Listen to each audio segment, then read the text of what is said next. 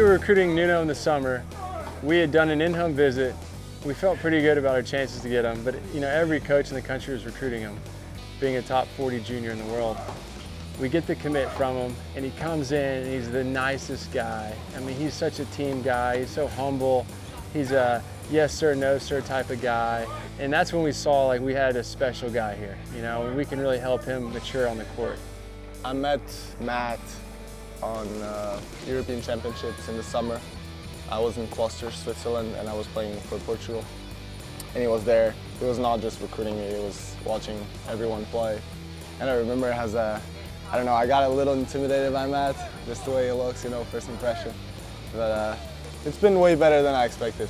I think the first couple months were always tough for adaptation, but uh, after that, it was, it's been really great. You watch him walk or jog, and you're like, this guy, he can't be number three in the country. He's, he's not even that athletic. But you see him hold that racket, you see him start moving on the court, and he glides, he's so smooth. He was born to play tennis and, and born to compete.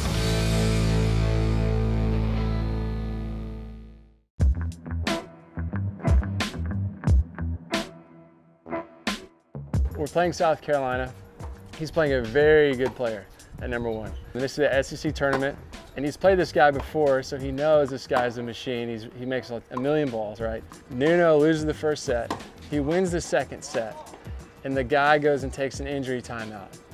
And Nuno is at the back fence waiting for him to come back from the injury timeout. And he's just pumping himself up, just talking to himself. And he starts saying, it doesn't matter what this guy's gonna do in the bathroom. There's no way he can come back and beat me.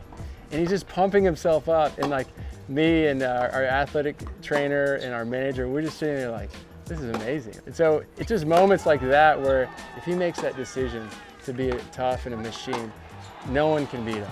There's no secret, it's just working hard. I mean, Matt helped me a lot develop all this time. Working on the right things, have the right mindset, and wanting to do more. I think that's, that's the basics.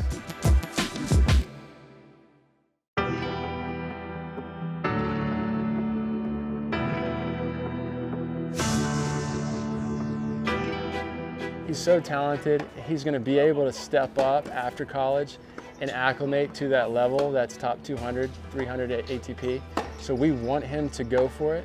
Um, but we don't think about that too much or focus too much on that. We're more here in the moment.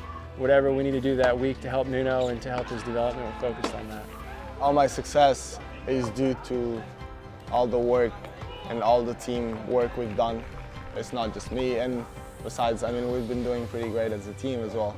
It's not just me. I mean, and they're a big part of what I've, what I've become.